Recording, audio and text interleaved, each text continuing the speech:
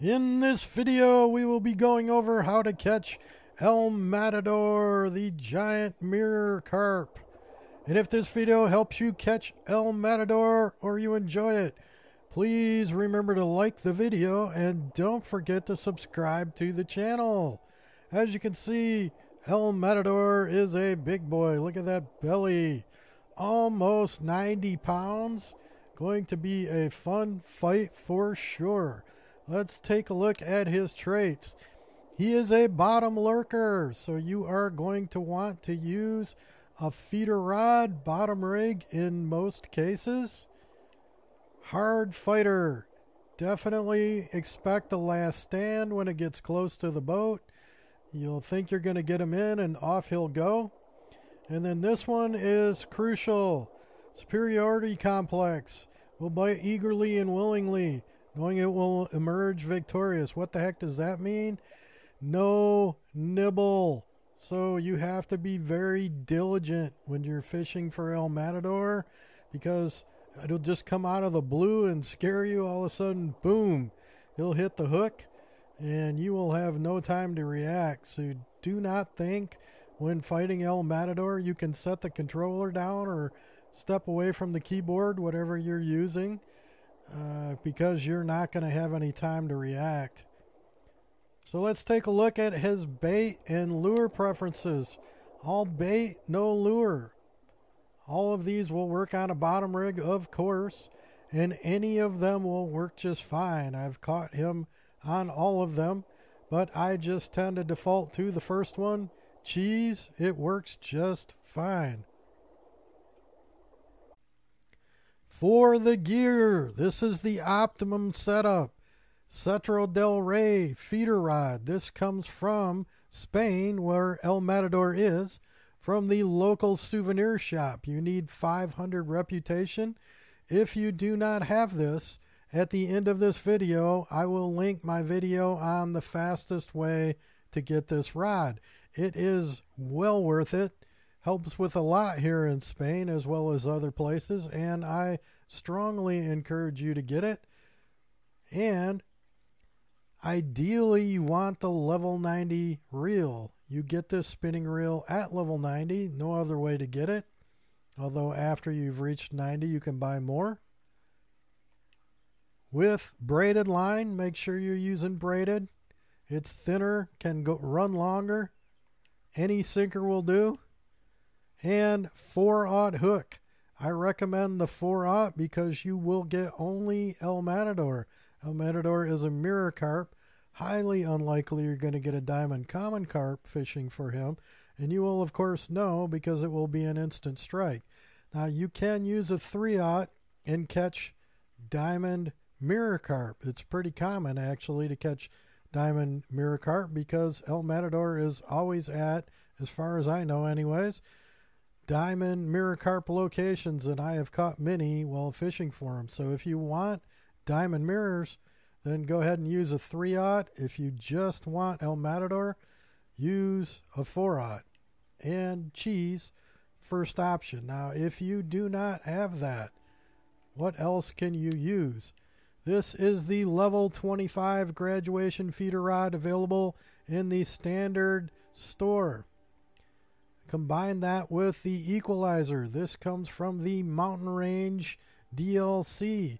Cost a few dollars. It's well worth it if you don't have the Pure Champion from the souvenir stand, which takes quite a bit of reputation. You're going to want to combine that with 44 pound braided, any sinker. Again, 4 aught for just El Matador and cheese. If you don't have a good spinning reel, this is the mountain range pack I recommend that includes that equalizer reel. This one, the Rushy, also has pretty good equipment, but not quite as good as what is in this mountain range pack.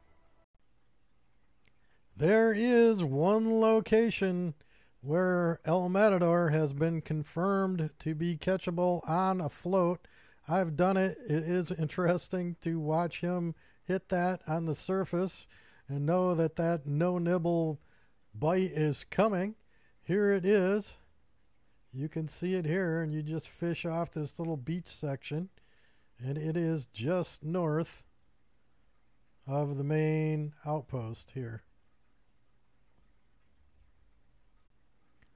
For that float location, the gear you're going to want to use is the level 100 Power Nexus combined with the level 90 reel, level 55 braided, a Wagler bobber that moves less in the current, and then 3 outer 4 aught combined with cheese.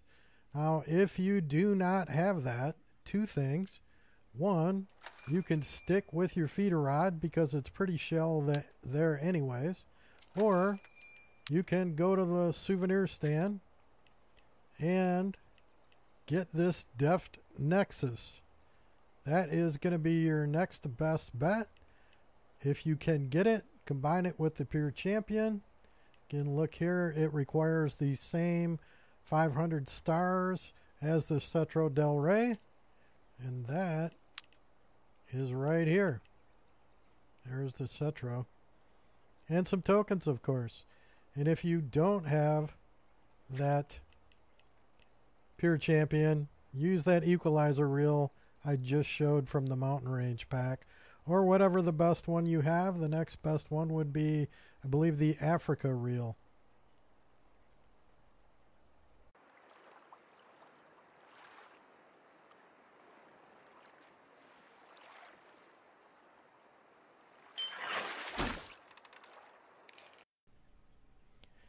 Now that you know all about El Matador and what to use to catch him, how do you find out where he is or if he's even active this week?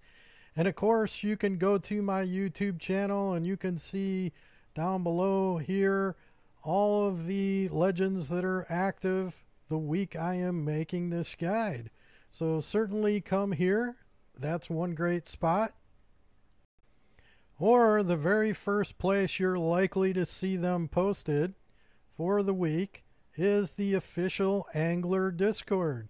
And you can see here, I'm in the Angler Discord, and you can see my post for legends and tips from October 2nd through the 9th of 2024.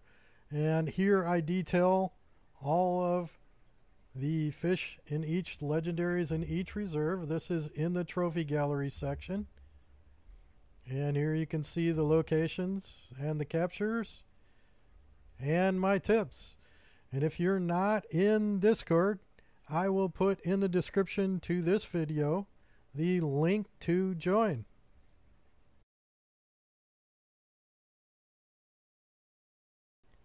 All right, so you know everything you need to know. You've got your gear, you're at your location. This happens to be where I was lucky enough to find El Matador first last night, and I posted it into the trophy gallery for everyone else to see. He can be in a lot of different spots, but this is just where he happened to be. So I'm at that area. I've got my bottom rig set up. As you can see, the Cetro Del Rey with a level 90 reel. I, just for fun, have a 3-aught hook because I will go ahead and take a diamond mirror carp if there is one. So since I will, I'm going to throw out some advantage chum. It's not going to impact El Matador.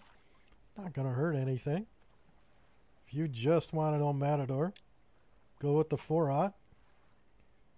And you will be able to tell the difference by a nibble with the mirror carp or no nibble. El Matador. So this is exactly where I got him last night, and the odds of getting him in that same spot again are pretty small, but I'm going to be very diligent and pay attention here because he could strike at any time. And keep in mind, he could be anywhere in this region if he's found here where I found it. So El Matador, probably my least favorite of the legendaries because he can be extremely difficult to find and hook. So the way I do it is I just quick cast around my boat and I wait about 60 seconds. Now, more often than not, when I get El Matador, he will hit within a few seconds, sometimes even as the bobber hit, or the, I'm sorry, the sinker hits the bottom, boom, he'll hit. So obviously he didn't do that this time. And that's pretty typical. I have spent hours looking for El Matador. So up to you. I prefer to find him. I don't believe he moves around all that much. Can't prove it to you, but just my experience from fishing for him many, many times that I sat there for hours and hours and he never came over and bit my cheese. So I prefer to find him rather than just sitting there. But if you want to, if you think you can be diligent, because there's not going to be an opportunity to grab the controller, you know, you can uh, turn on a movie and uh, just leave it sit there, but I don't. I move it about every 60 seconds. And again, my experience is if he's there, he's probably going to hit it in seconds. I don't think I've ever had him hit more than 30 seconds. It's usually immediately or say 10 seconds if I wasn't quite close. Now, I think, again, this is my experience, I can't prove it, that you have to be very, very close to get him to bite. He doesn't seem to be like Big Larry, where he'll just swim over and, or she, I should say, would just swim over and smell the bait from a long ways away. Seems like you pretty much have to hit El Matador in the nose is very annoying. so, so be patient. Don't expect you're likely to get them on the very first try. And again, I wait usually less than a minute between casts. The first thing I do is check all around my boat, short cast, because it seems like wherever he was caught, there's a decent chance that he'll be there when I get there. Uh, what else can I do? Well, you can fast travel because I'm pretty darn sure if you hop over here and then back to your boat, I'll just show you what I mean fast travel, and then you can fast travel back to your boat. Pretty darn sure that resets his spawn location and there's another chance that he'll be right at your boat. You can also exit out and restart. That one, I'm real sure, absolutely positive, will reset his spawn location. Uh, he is not hit. So, I'll do one more, and I'll just leave it quick. But I checked shortcast. You can move your boat around too and continue to shortcast around the around the boat. Or you can long cast. So we'll give this one a few more seconds.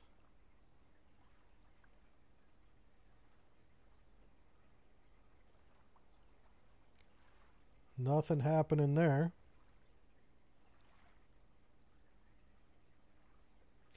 So now I'm to try a long cast.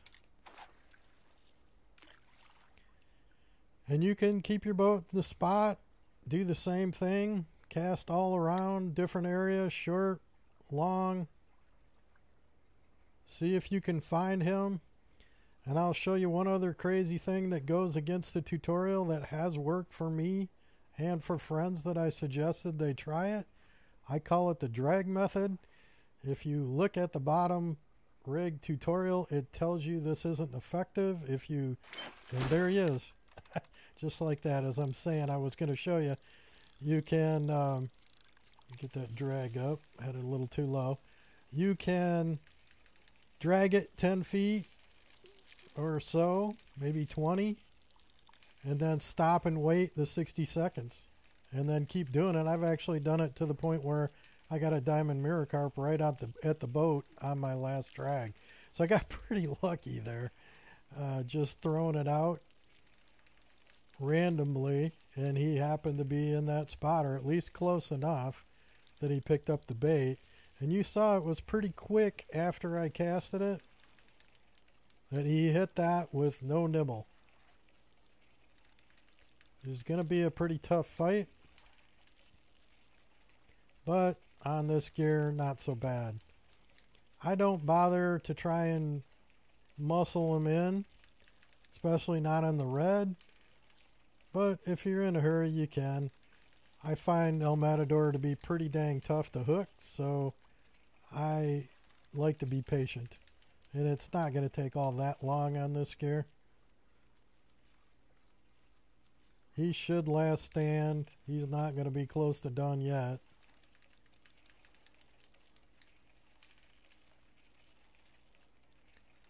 But you saw the process. Check around the boat. Then check long and hope like heck you get that lucky. That's two nights in a row for me being extremely lucky on El Matador, who is usually not much fun for me.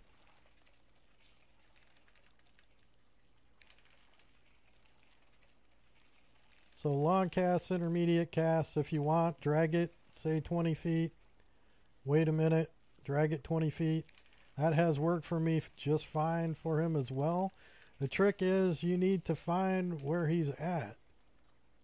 And he was in a completely different spot this time than he was for me last night on my Xbox character.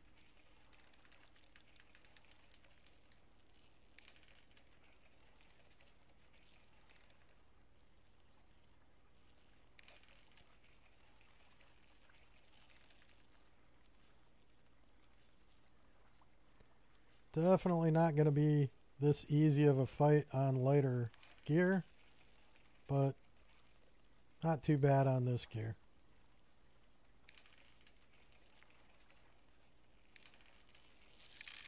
Ah, here comes the last stand. Although he last standed at me, which is interesting. You can see him coming in now. And now he, he's still fighting towards the boat. Very strange. Ah, now he's kind of going away, I guess. Give him a little more drag.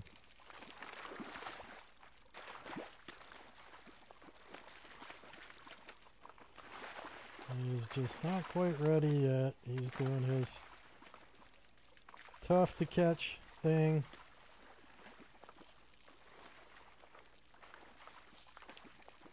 Just use that drag, wait him out. He will get tired here pretty quick.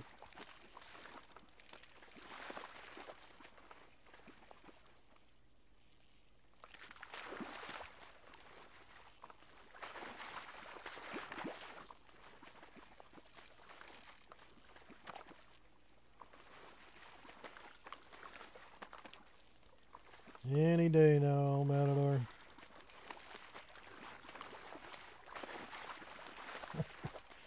He just doesn't want to come in. Here we go. Finally, let's see if we can get him. Nope. Second try. Nope.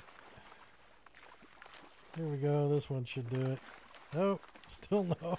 One more try. Nope. How about five?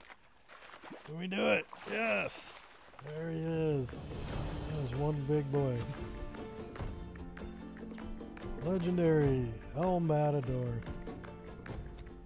And as you can see, first time on my PC character, he has been in hiding for quite some time. That's really all there is to it. Good luck catching El Matador. If this video helps you, please remember to hit the like button. Don't forget to subscribe to the channel. Happy fishing. Have a good one.